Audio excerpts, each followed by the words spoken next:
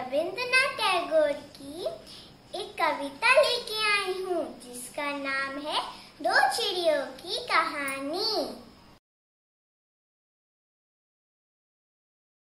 घर की चिड़िया थी पिंजरे में, वन की चिड़िया वन में। मिली अचानक एक दिवस में, थी कुछ विधि के मन में। वन की चिड़िया बोली तबियो क्यूरी पिंजरे वाली उड़ चल वन को मेरे संग तू कर दे पिंजरा खाली। पिंजरे की चिड़िया बोली तब, सुनरी चिड़िया वन की, तू भी आ बस जा पिंजरे में, बात करे तो मन की। मैं क्यों फंसू बला बंधन में? वन की चिड़िया बोली, हो चिड़िया मन ही मन में रोली।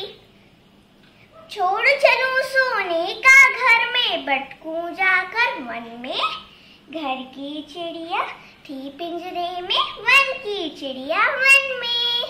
धन्यवाद। अगर आपको ये कविता पसंद आई तो प्लीज़ सब्सक्राइब कीजिएगा।